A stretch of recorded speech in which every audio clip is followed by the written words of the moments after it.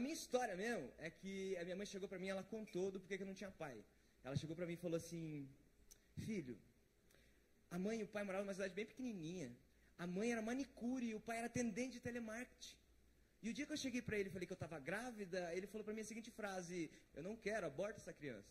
Então o que eu trago para vocês como público é entrar na comédia e entender a cabeça de uma criança de 7 anos descobrindo que o seu pai é atendente de telemarketing.